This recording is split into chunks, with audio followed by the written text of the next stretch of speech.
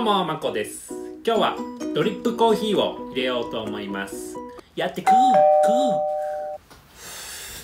っと違うんじゃないか。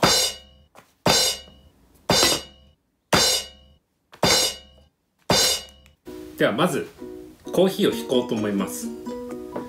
えーとじゃあこれ。コーヒーはい。コーヒー豆。これ冷凍で保存しておりますこれをコーヒーミルに。ミルに。入れますね。まあい一杯ぐらい。入れて。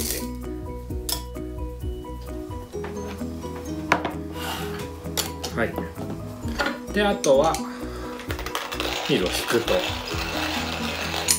ロープ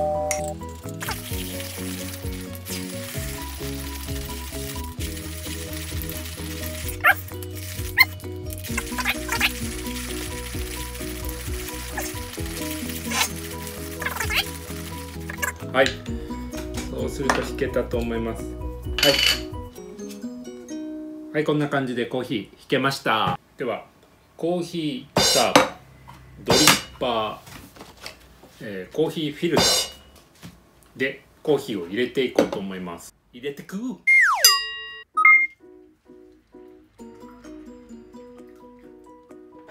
はい、皆さん、はじめまして、天の声です。コーヒーは皆さんご存知の通り、世界中で愛飲されている嗜好飲料となっております。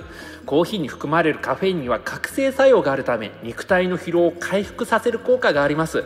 また、胃酸の分泌を促進させる働きがあり、胃の消化活動を助けてくれます。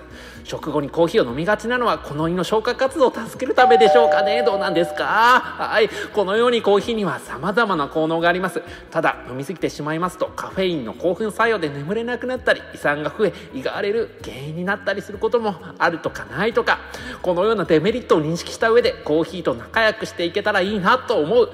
今日この頃です。どうもでした、コーヒー入りました。飲んでいこうと思います。